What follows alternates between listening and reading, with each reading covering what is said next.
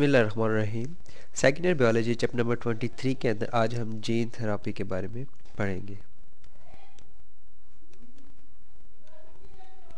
Gene therapy so so, gene therapy basically एक procedure है या टेक्निक है। इट इज़ अ प्रोसीजर और टेक्निक जिसके ज़रिए हमने क्या करना होता है बेसिकली ह्यूमन डीएनए को चेंज करना होता है, ठीक है? यानी हम जेनेटिक मटेरियल जो सा है, वो इंसर्ट करते हैं, ठीक है? Technique for insertion of genetic material ठीक है जी? इनटू ह्यूमन सेल्स ठीक है, क्यों हम ये इंसर्ट करते हैं for treatment of diseases for treatment of various disease ठीक है? वेरियस से मुराद यहाँ पे वेरियस जेनेटिक डिज़ीज़ हैं, ठीक है? जिनकी वजह से, यानी जो जीन्स की ख़राबी की वजह से, यानी आप कह लें कि आपके जो जीन्स हैं, जिसने मुख्तलिफ़ प्रोटीन्स कोड करनी होती हैं, ठीक है? तो अगर उनमें ख़राबी हो तो उसको रिकवर करने के लिए या उसकी, कह लें कि उसके इलाज के लिए जो हम प्रोसीजर इस्तेमाल करते हैं उससे हम जीन थेरापी करते हैं, ठीक है? इसके अंदर आप क्या करते हो इंसर्शन ऑफ़ जेनेटिक मटेरियल होती है, ठीक है? कि आप जो डिज़ीज़ जीन है, उसको आप रिप्लेस करने की कोशिश करते हो, जो नॉर्मल जीन है उससे। सही? अच्छा डिज़ीज़ कौन सी है जिसके अंदर आप ये जीन थेरापी यूज़ कर सकते हैं? बहुत सी डिज़ीज़ हैं। एक तो इसके अंदर कैंसर्स हैं। कैंसर के एग्ज़ाम्पल में आप ब्लड कैंसर ले सकते हैं। ठीक है ब्लड कैंसर जितने भी हैं तो उनकी ट्रीटमेंट में इससे इस्तेमाल कर सकते हैं। इसके अलावा हाइपोकोलेस्ट्रोलीमिया हाइपोर बल्कि हाइपर कोलेस्ट्रीमिया कोलेस्ट्रोलीमिया बल्कि कोलेस्ट्रोलीमिया ठीक है, कि इसके अंदर कोलेस्ट्रोल लेवल ज़्यादा हो जाता है हाइपर कोलेस्ट्रोलीमिया यानी इंजाइम की डेफिशिएंसी है। अब आपको पता होना चाहिए कि इंजाइम्स भी प्रोटीन्स है और प्रोटीन्स के पीछे डीएनए होता है कोड होता है ठीक है? अगर कोड में प्रॉब्लम है तो इंजाइम सही नहीं बनेंगे। इंजाइम सही नहीं बनेंगे तो कह लेंगे उनका फ़ंक्शन नहीं होगा और डिज़ीज़ हो जाएगी। मतलब कोलेस्ट्रोल के इंजाइम्स नहीं है तो हाइपोकोलेस्ट्रोलीमिया हो जाएगा ठीक है? इस तरह एक सिस्टिक फाइब्रोसिस है ये भी जेनेटिक डिज़ीज़ है।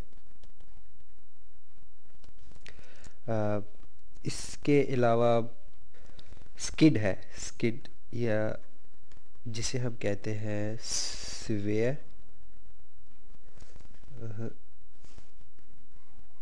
severe combined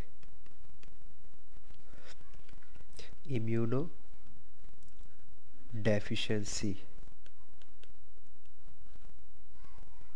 syndrome. ठीक है, काफ़ी लंबा नाम है। Severe combined immuno deficiency syndrome इसे हम स्किड कहते हैं। या डिज़ीज़ सॉरी यहाँ पे सिंड्रोम नहीं आएगा।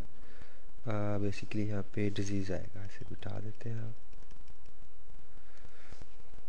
डिज़ीज़ ठीक है सिवियर कंबाइंड इम्यूनो डेफिशिएंसी या स्किड भी से शॉर्ट फॉर्म में कहते हैं। सो so, ये सब जेनेटिक डिज़ीज़ हैं। इन जेनेटिक डिज़ीज़ को अगर आपने मतलब रिकवर करना है या इसकी आपने ट्रीटमेंट करनी है उसके लिए आपको जीन थेरापी का ऑप्शन मिलेगा। ठीक है? अब जीन थेरापी होता है क्या हम उसके ऊपर पढ़ते हैं कि हमने इंसर्ट करना है genetic material into human cells ठीक है? अच्छा इसके दो प्रोसीजर्स हैं। ये कह लें कि दो टाइप्स हैं। एक है एक्स वीवो सही? और एक है इन वीवो सही? तो ये basically outside of the body होता है। ठीक है? जीन मैनिपुलेशन जो सी होगी, वो क्या होगी? आउटसाइड ऑफ़ द बॉडी सही? इसकी जो जीन मैप इन वीवो की जो सी बात करेंगे हम वो जीन में मैनिपुलेशन होगी इनसाइड ऑफ़ द बॉडी सही? सो so, सबसे पहले हम एक्स वीवो को टारगेट करते हैं कि एक्स वीवो जीन थेरापी किस किस्म की होती है ठीक है? उसके अंदर आपने क्या करना होता है बेसिकली जीन मैनिपुलेशन बाहर करनी होती है। मतलब ये अब एक्स वीवो जीन थेरापी है। सही? इसके अगर आप देखें तो सबसे पहले हम क्या कर रहे हैं? सेल्स रिमूव कर रहे हैं। पेशेंट बॉडी से सेल बाहर हमने निकाले, फिर उसको हमने यानी टारगेट किया आपने मतलब उसके हमने जीन की मैनिपुलेशन की, उसके बाद दोबारा इंसर्ट कर रहे हैं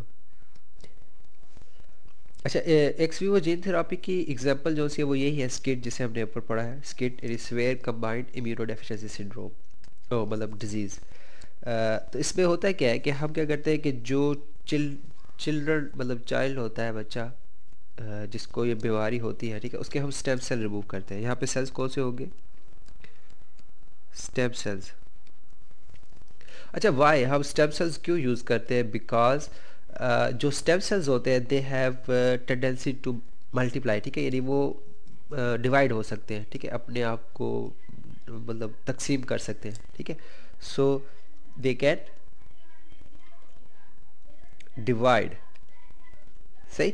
सो so, अगर हम स्टेम सेल्स के अंदर अपना जीन मैनिपुलेट करते हैं तो फिर क्या होगा कि स्टेम सेल्स डिवाइड होंगे और जीन जो है वो साथ साथ डिवाइड होता रहेगा। जारी बात है आपका जो नॉर्मल जीन है वो बॉडी के अंदर इसी तरह फैल सकता है। अदरवाइज़ अगर आप किसी दूसरे सेल के अंदर डालते हैं तो सिंगल सेल तक महदूद रहेगा क्योंकि जब तक वो डिवाइड नहीं होगा वो आगे मल्टीप्लाई नहीं होगा और फिर उसका इफ़ेक्ट बढ़ेगा नहीं। ठीक है? तो इसलिए आप क्या करते हैं टारगेट करते हैं स्टेम सेल्स को। ठीक है? कि हम अच्छा स्किड में होता है क्या? What is what happens in SCID अच्छा इस पर आता है। इसके अंदर बेसिकली एक एंजाइम होता है, जिसे हम कहते हैं ए डी ए या अडीनोसिन अडीनोसिन जो कि एक नाइट्रोजनस बेस है deaminase adenosine deaminase ठीक है, जिसे हम ए डी ए भी कहते हैं शॉर्ट फॉर्म में। सो अडीनोसिन डी अमाइनेज का जो जीन्स होता है जीन इज़ म्यूटेटेड ठीक है कि उसके जीन में म्यूटेशन आ चुकी होती है कि वो सही तरह से एंजाइम प्रोड्यूस नहीं कर रहा होता जिसकी वजह से फिर क्या होता है जो एडिनोसिन डीएमाइनेज है ये बेसिकली हेल्प करता है in maturation of help in maturation of lymphocytes ठीक है जी?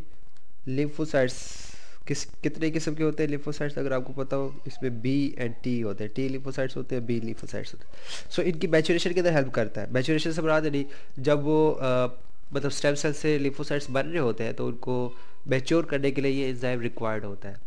सही? अच्छा इन द केस अगर पेशेंट को स्किड है या severe combined immuno deficiency disease है तो फिर क्या होगा? ये एडिनोसिन डी माइनेज नहीं बनेगा, सही? एडिनोसिन डी माइनेज नहीं बनेगा तो लिम्फोसाइट्स नहीं बनेगी। और लिम्फोसाइट्स नहीं बनेंगे तो उसकी इम्यूनिटी जो सी होगी, वो वीक होगी। ठीक है? सो इसमें क्या होगा? कि बेसिकली पेशेंट्स की इम्यूनिटी का प्रॉब्लम होगा, यानी बहुत इम्यूनिटी इसकी लो हो जाएगी। और जब इम्यूनिटी लो होगी तो वो क्या होगा, उसके, उसको डिज़ीज़ हो सकती है। मतलब उसे कोई भी बीमारी आराम से हो सकती है। सो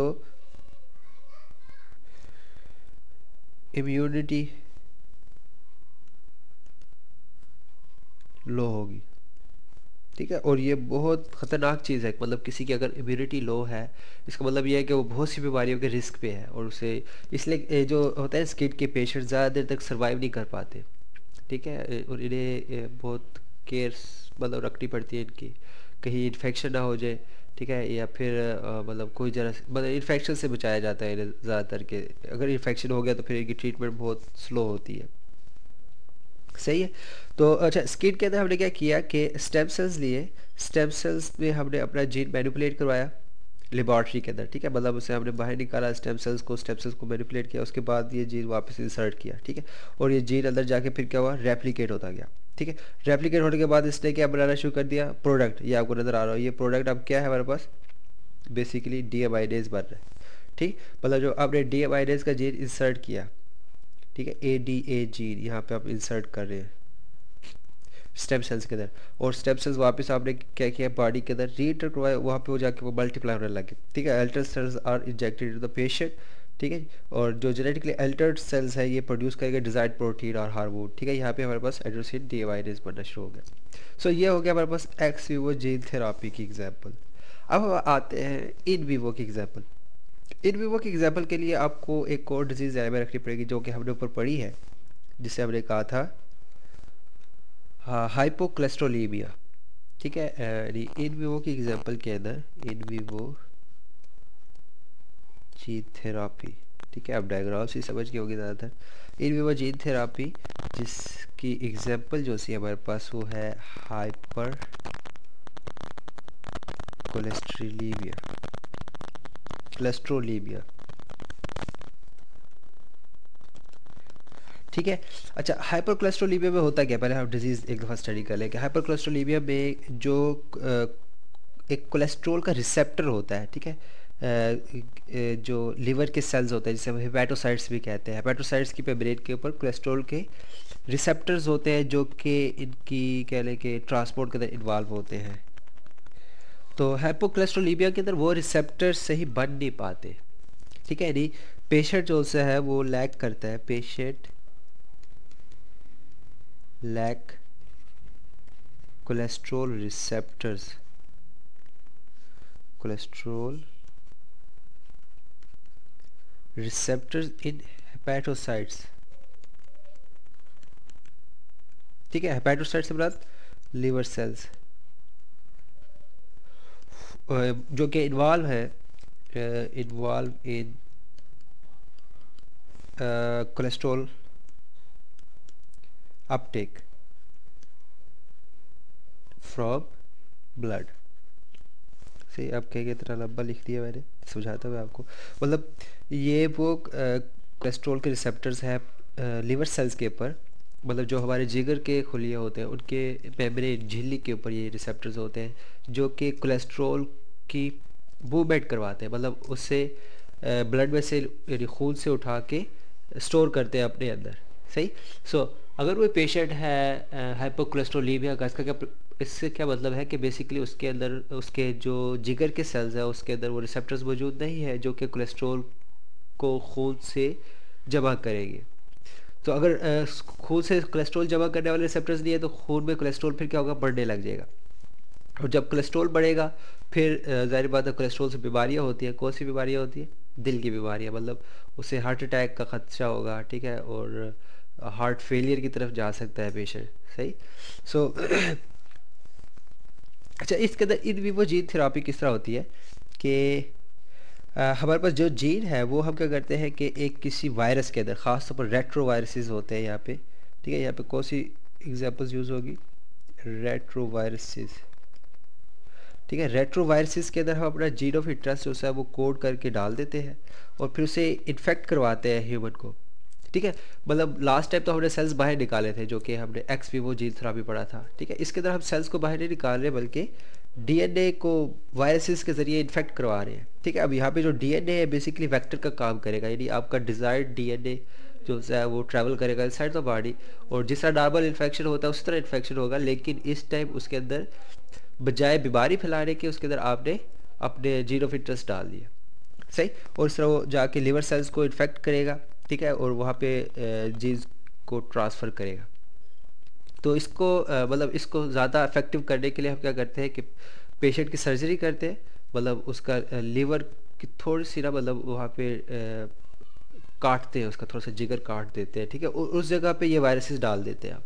सही तो ये वायरसेस वहाँ पे जाके फ़ौरन जाके अपना कह लें कि एक्शन करेंगे और ज़ीरो ऑफ़ इंटरेस्ट जो है वो आपका हेपाइटोसाइट्स के अंदर इंटर हो जाएगा। ठीक है? जिससे आपको यहाँ पे नज़र आ रहा है। यानी वायरसेस सेल्स के अंदर जाएगा सेल्स के अंदर जाने के बाद वो अपना जीन ऑफ़ इंटरेस्ट जो है वो डीएनए के अंदर, ये वैक्टर जो सा डीएनए के अंदर छोड़ देगा। सही? सो ये इन वो जीन थेरापी होगी। और इसके ऊपर एक्सपेरिमेंट्स हो रहे हैं, बहुत से लोगों पे किए भी जा चुके हैं। सही? और ये काफ़ी इसका आउटकम भी अच्छा आ रहा है। अच्छा एक ये एग्ज़ाम्पल होगी इन वीवो जीन थेरापी की, जिसके हमने क्या किया है कि वो use retroviruses as vector ठीक है? हमने क्या किया है कि रेट्रो वायरसेस को हमने एज वेक्टर यूज़ किया फॉर जीन जीन ट्रांसप्लांटेशन ठीक है, कि सबका हमने जीन बीच में ट्रांसप्लांट करवा दिया सही? या जीन हमने इनकॉर्पोरेट करवा दिया अपने डीएनए के अंदर। ठीक है उसके अंदर हमें कोई कह लें कि स्टेम सेल्स निकालने की ज़रूरत नहीं पड़ी, बल्कि हमने वायरसेस वेक्टर्स के ज़रिए खासकर रेट्रो वायरसेस के ज़रिए हमने वो काम किया है। सही? अच्छा एक और प्रोसेस है, जो कि आजकल यूज़ हो रहा है, और वो भी इन वीवो के अंदर आ रहा है इन वीवो जीन थेरापी के अंदर। इसमें हम क्या करते हैं कि लाइपोसोम्स ठीक है, ख़ास किस्म के लाइपोसोम्स आपने इसका नाम सुना हुआ है कहीं? चलिए, ये आपके सामने मैंने एग्जांपल इंक्लूड कर दिया लाइपोसोम की। सो लाइपोसोम्स बेसिकली क्या होता है? ये लिपिड्स बाई लेयर के मालिक्यूल्स होते हैं, ठीक है? यानी मालिक्यूल्स कह लें या वेजिकल्स कह लें। Vesicles of lipid bi bilayer सही? जिस तरह आपको यहाँ पे नज़र आ रहा है, ये मतलब ये लिपिड बाइलेयर बनी हुई है। सही? मालिक्यूल्स ऑफ़ लिपिड बाइलेयर है, जिसके अंदर वेजिकल से क्या बनाते हैं? कि अंदर से खाली होते हैं, ठीक है? उसके अंदर हमने क्या किया? प्लाज्मिक डीएनए या gene of interest plasmid DNA के अलावा हमने जीन ऑफ़ इंटरेस्ट डाल दिया उसके अंदर, ठीक है? तो ये हमारे पास बेसिकली लाइपोसोम्स वेजिकल्स बन जाएँगे, ठीक है? लाइपोसोम्स वेजिकल्स या ऐसे माइक्रोस्कोपिक वेजिकल्स कहते हैं, क्योंकि ज़ाहिर बात आपको ये नज़र नहीं आएँगे माइक्रोस्कोपिक पार्टिकल्स के अंदर। माइक्रोस्कोपिक पार्टिकल है सही तो हम क्या करते हैं, फिर इन लाइपोसोम्स के अंदर अपना ज़ीरो फिटर्स डाल के ह्यूमन सेल्स को इन्फेक्ट करवाते हैं। ख़ास तौर पर फॉर एग्जांपल एक बीमारी है, जिसे हम कहते हैं सिस्टिक फाइब्रोसिस ठीक है सिस्टिक फाइब्रोसिस ये भी जेनेटिक बीमारी है, और इसके अंदर भी एक, कह लें कि रिसेप्टर की कमी होती है, ठीक है? यानी इसके अंदर क्लोराइड रिसेप्टर्स क्लोराइड रिसेप्टर्स का प्रॉब्लम होता है, ठीक है? क्लोराइड रिसेप्टर्स यानी जो क्लोराइड मालिक्यूल्स को, यानी क्लोरीन को in and outside of the cells जो है, वो बैलेंस में रखते हैं, सही? सो क्लोराइड रिसेप्टर्स की अदम मौजूदगी की वजह से ये रिसेप्टर्स है। ठीक है, कदम अदम मौजूदगी की वजह से जो पेशेंट है, वो अमूमन जो अपर रेस्पिरेटरी टैग इन्फेक्शन होता है, या रेस्पिरेटरी टैग इन्फेक्शन की वजह से जो है, वो कह लें कि डिज़ीज़ मतलब मर जाता है। ठीक है फैटल होता है बहुत यानी मोहलिक होता है। सही? सो so, इसके अंदर क्या करते हैं कि लाइपोसोम्स के अंदर जो क्लोराइड रिसेप्टर्स का जीन होता है जो बेजहरी बात है उसके पीछे कोई ना कोई जीन है तो हमने वो जीन जो है क्लोराइड रिसेप्टर का हमने जीन प्लाज्मिक डीएनए के साथ हम उसे मैनिपुलेट करके लाइपोसोम्स के बालिकों के ज़रिए इन्फेक्ट करवाते हैं। ठीक है लाइपोसोम्स को हमने यहाँ पे बेसिकली नेजल स्प्रे यूज़ किया जाता है। ठीक है, कि हम लाइपोसोम्स के बालिकोल्स का हम नेजल स्प्रे करेंगे, ठीक है? और जब नेजल स्प्रे होगा तो वो जो ज़ाहिर बात है कि अंदर जो एंडोथीलियम होगी, उनके सेल्स के साथ जाके फ्यूज़ होगा, वो अंदर जाएगा, अंदर जाके ट्रांसफ़र ट्रांसफ़र होगा हमारे, और जाके वहाँ पे मैनिपुलेट हो जाएगा, ठीक है? मतलब वहाँ पे जाके उसकी इम्प्लांटेशन हो जाएगी, जाके जो जीन है नॉर्मल जीन वो जाके बैठ जाएगा, ठीक है? फिर वो जाके अपना नॉर्मल फ़ंक्शन परफॉर्म करना शुरू करेगा। लेकिन इसमें जो कह लें कि सक्सेसफुल रेट है, वो कम है। ठीक है? मतलब इसकी सेंसिटिविटी लो है। इसलिए इसे ज़्यादा यूज़ नहीं किया जाता। ठीक है? मतलब यूज़फुल प्रोसेस तो है, लेकिन लो जीन ट्रांसफ़र होता है इसके अंदर। ठीक है? कि लो जीन ट्रांसफ़र ठीक है? जिसकी वजह से इसके कह लें कि मतलब लेस इन यूज़ या लेस यूज़ होता है इसका। जो पहले दो प्रोसेस थे जिसके अंदर हमने एक्स वीवो और इन वीवो जिसमें हमने रेट्रोवायरल मतलब वायरसिस का हमने यूज़ किया था वेक्टर के तौर पर वो बहुत कॉमनली अब यूज़ होने लग गए हैं। सही? अच्छा एक और एग्जांपल है ये लाइपोसोम्स की एग्जांपल होगी जो कि थर्ड आपकी बनती है, ये भी इन वीवो है, ठीक है? ये किसमें आ रही है? इन वीवो एक चीज़ में रखनी है आपने। क्योंकि आप इसके अंदर कोई सेल बाहर नहीं निकाले लैब के अंदर, बल्कि आप डायरेक्ट अपना जो जीन ऑफ़ इंटरेस्ट है, उसे आप डायरेक्ट मतलब भेजने की कोशिश करते हैं। अच्छा एक और डिज़ीज़ है जिसे कहते हैं आप कोरोनरी हार्ट डिज़ीज़ ठीक है? या आप जिसे कह लें कि जो आर्टरीज ब्लॉक होती है आर्टरीज ब्लॉक्ड ठीक है? आर्टरीज ब्लॉक कब होती है? जब वहाँ पे कोलेस्ट्रॉल जमा होना शुरू हो जाता है, ठीक है? और कोलेस्ट्रॉल की वजह से वहाँ पे आर्टरीज उसके लिए फिर हम क्या करते हैं? एंजियोप्लास्टी करते हैं, ठीक है? जब आर्टरीज ब्लॉक होगी, हमारे पास ऑप्शन क्या आएगा? एंजियो प्लास्टी ठीक है? और एंजियोप्लास्टी में हम बेसिकली उस ब्लॉक्ड एरिया को रीओपन करने की कोशिश करते हैं, ठीक है? तो उसके लिए हम यूज़ करते हैं, एक बैलून यूज़ करते हैं।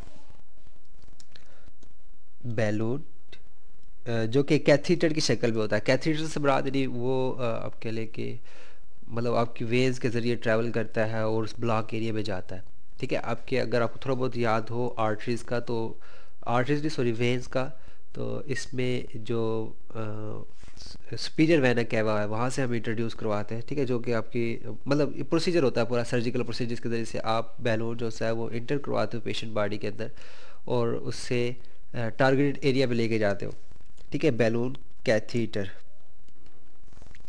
सो so, अगर बैलून कैथीटर वहाँ पे पहुँच जाता है ठीक है? वो मतलब ओपन्स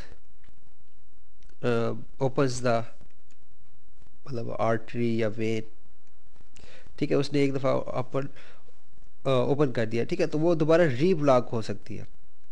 अगेन चांसेस होते हैं कि वो री ब्लॉक हो जाए, ठीक है, दोबारा वहाँ पे कोलेस्ट्रॉल जमा हो, दोबारा ब्लॉक हो जाए। तो इस केस में जब बार बार ब्लॉकिंग हो रही है तो हम क्या करते हैं जो बैलून है, ठीक है मतलब जो हमारे पास सेकंड ऑप्शन वो है कि हम बैलून को कोट कर देते हैं विद प्लाज्मिड ठीक है, ऐसे प्लाज्मिड के साथ कोड करेंगे कंटेनिंग ग्रोथ फैक्टर ठीक है? ग्रोथ फैक्टर ऑफ़ आर्टरीज ठीक है, जिसे हम इंडोथीलियल ग्रोथ फैक्टर भी कहते हैं। इंडो थीलियल ग्रोथ फैक्टर ठीक है जो कि आर्टरीज की इंडोथीलियम को ग्रोथ करता है सही? सो so, हमने क्या किया? Coat the plasmid with the factor growth factor जो कि इंडोथीलियल कंटेनिंग है। तो अब जब बैलून जाएगा तो मतलब एक दफ़ा वो ओपन भी करेगा प्लस इन द केस वो आर्टिस्ट की ग्रोथ भी करवाएगा ठीक है? अगर दोबारा ब्लॉक होती तो फिर वो बाईपास भी कर सकता है ऑटोमेटिकली ठीक है? मतलब अगर आर्टरी ब्लॉक हुई है तो वहाँ पे ग्रोथ फैक्टर मौजूद है तो आर्टरीज वहाँ से ग्रो करते हुए मतलब मैं यहाँ पे एक बनाता हूँ फॉर एग्ज़ाम्पल ये आर्टरी है।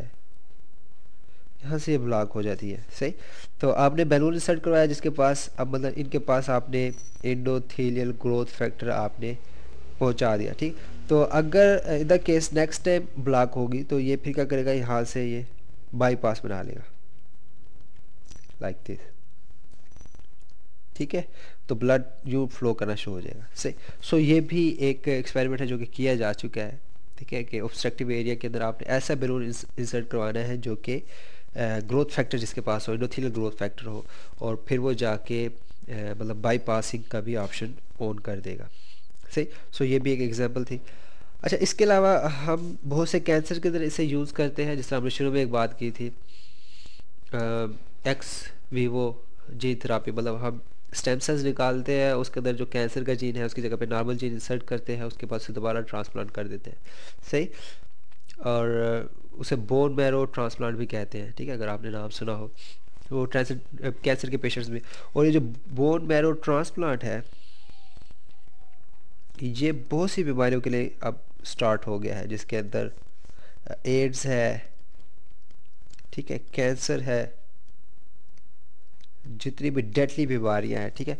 इसके अलावा कुछ डिज़ीज़ जो कि फैमिलियल होती है जिस फैमिलियल हाइप्रोकोलेस्ट्रोलीमिया होने पड़ा, ये फैमिलियल बीमारी है, सही? और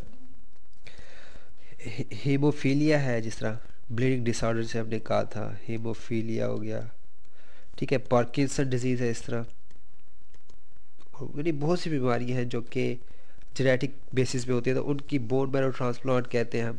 या फिर उसके और भी प्रोसीजर आ रहे हैं कि मतलब आप स्टेम सेल्स को बॉडी के किसी और हिस्से में रख दो मतलब एबडोमिनल कैविटी में रख लो या पेरिटोनियल कैविटी में रख लो वहाँ से उनके जीन्स जो है वो एक्टिव हो जाए और प्रोटीन्स प्रोड्यूस करते रहे। सो so, बहुत से आगे मतलब फ्यूचर के अंदर बहुत से ऐसे ट्रीटमेंट की तो की जा रही है कि फिर हम अपने जो जेनेटिक डिज़ीज़ हैं उनको हम कवर कर सकेंगे। सही? सो so, ये सारा जो प्रोसीजर्स है वो जीन थेरापी के अंदर आएँगे क्योंकि आप जीन मैनिपुलेट करने जा रहे हो। सही? सो so, जीन थेरापी सारा कुछ है। सो so, ये आ, आज का लेक्चर हो गया हमारा जीन थेरापी के बारे में आ, अगले लेक्चर के अंदर हम टिश्यू कल्चर के बारे में डिस्कस करेंगे।